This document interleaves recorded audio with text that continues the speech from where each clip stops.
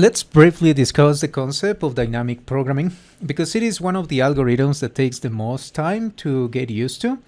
It is an example of an exhaustive search, which means that we evaluate all of the different possibilities and then we pick the best one or best ones that exist globally. In this particular example, we have uh, two sequences, which is uh, two strands of DNA that we hypothesize, hypothesize belong to the same region in two organisms or perhaps two species. Here we have our sequence 1, which we programmers usually start counting at, at 0, so we're going to call it sequence 0. And here we have the sequence 1. So these two sequences can be aligned. That's the general idea behind uh, preparing data for, for DNA analysis.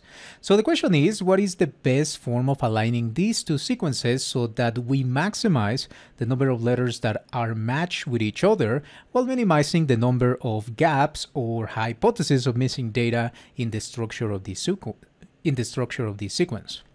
So let's take a look at the diagram here on the right. So each of these sequences can be represented as a series of elements inside of a two-dimensional matrix, where one of the sequences goes to the rows and the other one goes into the different columns.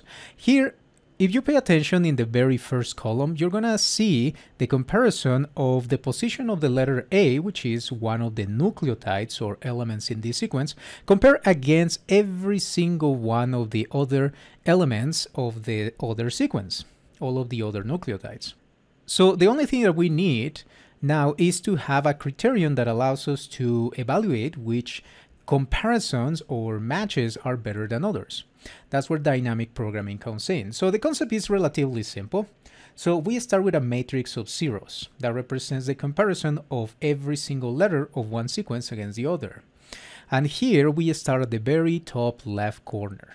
So the general idea is that every time that we move from one position, this can represent, this uh, represents the score, Every time that we move from this position to a next one in the horizontal plane, which would be moving across columns, we can insert gaps.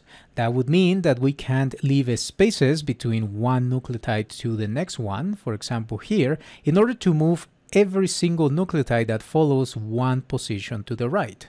So let's take a look at one simple example. Here we start at the top left corner. The score is zero and we move to the right, which would be the second column. If you look at the sequence 0, that would mean that we want to keep the value t in this nucleotide of sequence 1 with match to the position t. So we would have a t from sequence 0 compared with a t from sequence, sequence 1. And in this particular case, we just need a score. So how good is this guess? Of course, there is a lot of dependency on the parameters of your system. If you want uh, the if you want to maximize the letters that are the same, then you're gonna give penalties that are close or equal to zero.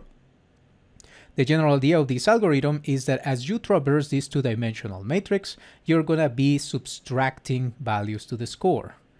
Then we're gonna then we're gonna traverse the two-dimensional matrix and we're gonna invert the process following the path of less resistance. So let's keep moving forward. Let's assume that we move to the right. So what does that mean for our sequences?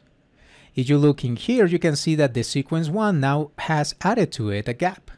This gap is penalized, which means that this position right here, moving from the score zero to the right, adding one gap in this position, is gonna give us a score of negative 2 because that is the parameter that maps to the presence of gaps.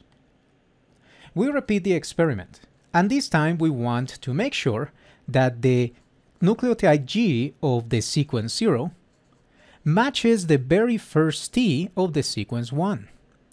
What that means for us is that we're going to insert a second gap in the sequence 1 and you can see that this T and this g now overlap with each other. We take the value of the previous score, which is the assumption that one gap was already inserted, and then we subtract the value of another gap, and it gives us minus 4. We repeat the process.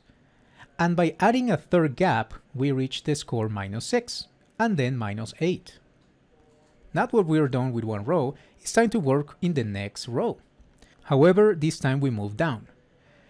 If moving to the right leaves gaps in the sequence 1, then moving vertically, or down, should add gaps in the sequence 0. That's what we observe. And the general pattern remains. The value of inserting a gap is still minus 2, so we give that value. But wait a minute, because now we have a different pattern here. For the first time, it's not just a matter of moving right or down, which are the margins of this two-dimensional matrix. For the first time, we have a hypothesis from three different possible resources. In this case, we can add one gap to sequence 0 after we add a gap to sequence 1. That would be this arrow.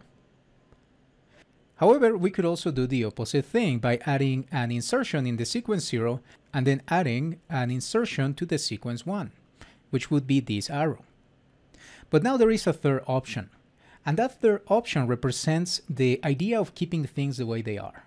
So if we start from the initial position where t matches a somehow, then we can move diagonally by moving down one position and mapping it to the respective position as we move right in the sequence 0. That way we go down and right one position, making the comparison of g and t. And now we need to look into a different subsection of our parameters, the penalty scores. Because comparing g and t represents an example of a transversion. That is the idea that if two positions are the same at some point in the evolutionary history of these sequences, one G had to turn into a T, which is quite improbable given that the chemical affinity of the pyrimidines and the purines make them prone to turn into each other. So we penalize transversions from one molecule type to another molecule type higher than what we would do if we had an A to a G or a C to a T. So in this case, we have the transversion with a value of minus 3. So going from 0, so, so going from 0 down here would have minus 3 to have the position G and T. However, if we just want to add the insertion, we would need to add negative 2. So that would give us a total of negative 4 if we come from here and negative 4 if we come from here. And now we have three possible scores.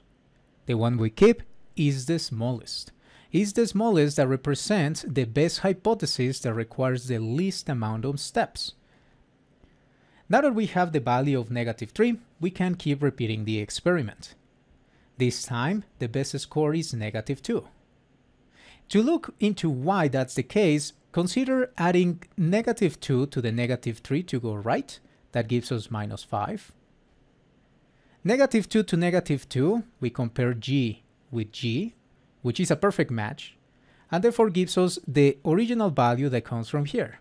Minus 2 minus 0 is minus 2. And then the last hypothesis that involves adding a gap, that also gives us minus 2. Minus 4 minus 2 is minus 6. So from these ones, you can see that the maximum value is again minus 2 and we keep that hypothesis.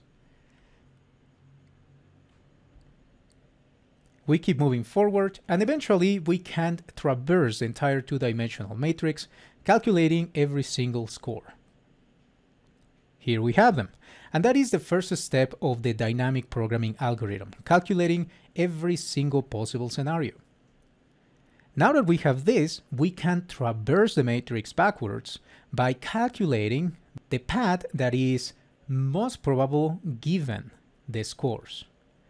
In other words, we start at the bottom right corner. From here we can ask which of the three different positions are going to yield the lowest score. Here we have from minus 4 to minus 6 horizontally, from minus 4 to minus 2 vertically, and from minus 4 to minus 4, which is diagonal. These ones, remember, horizontal and vertical represents the insertion of gaps. It's just in which of the sequences we're going to add those gaps. Whereas the other one, which is the diagonal, is going to represent the idea of keeping the sequences with their current values. So which of these three hypotheses is the most appropriate? Well, it's going to be going from minus 4 to minus 2. And we repeat the experiment. Going from minus 2, we can go to minus 4, minus 4, or minus 2. So it seems that keeping the pairing of G versus G, as they are right now, is the best hypothesis. We repeat the process once, twice, and thrice, going back to the point of origin, and the sequence alignment is done. Here is a more graphical representation where we also add the alignment, the final, the final alignment of the two sequences. You can see here that by moving vertically, we added a gap in the sequence number one by matching the value of A with that underscore. And over here, we added a gap by moving horizontally, which adds a gap to the sequence number zero by matching the value of T against an underscore. It makes sense because it seems that most of the nucleotides have been paired against each other which is exactly what the purpose of the alignment was. To implement this in Python, however, keep in mind that sometimes it is just easier to traverse a matrix by inverting it first. That means that the position of the numbers in this in this matrix is going to have to get mirrored vertically, as if we had placed a mirror in front of it. And also, it's going to have to get flipped horizontally, as if we had placed the mirror upside down we're going to end up with something that looks like this. This is mostly for the purposes of the algorithm. It's just easier to go through indexes by adding than subtracting, especially for Python because Python has the tendency of working with negative numbers as looking at the last elements in an arrange.